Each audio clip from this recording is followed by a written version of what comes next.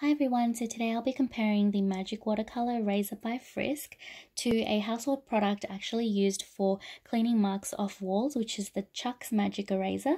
They look and feel like the same thing, so I'm curious to see if they actually perform in the same way.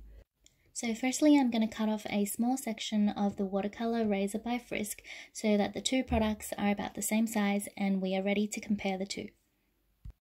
I've prepared two swatches of the colour Phthalo Blue. This is a very staining pigment, so it's a good test for these sponges.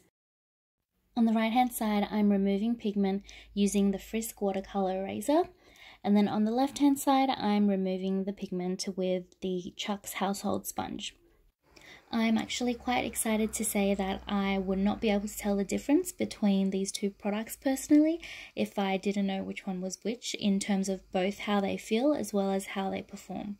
The other good news is that the household sponge costs about half the price of the watercolor eraser and much more readily available. So if you can't find the watercolor eraser anywhere where you live, then just pop by to the grocery store and pick up one of those magic erasers for walls. They pretty much do the exact same thing and I'm convinced that they're actually the same product. Thanks for watching. Bye!